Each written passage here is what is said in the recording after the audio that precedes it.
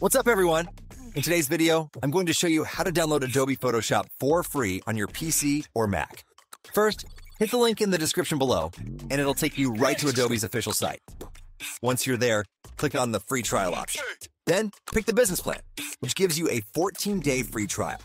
Perfect for diving into Photoshop and seeing all the cool features. Next, click Continue, enter your email, and hit Continue again. You'll need to fill out a quick form with your details and payment info. Relax, Adobe won't charge you until the 14 day trial ends, and you can cancel anytime, anyway. Once that's all done, click Agree and subscribe. Then you'll set up a password for your new Adobe account. After that, download the Creative Cloud desktop app when it prompts you. Install it, then log in with the email you use to register.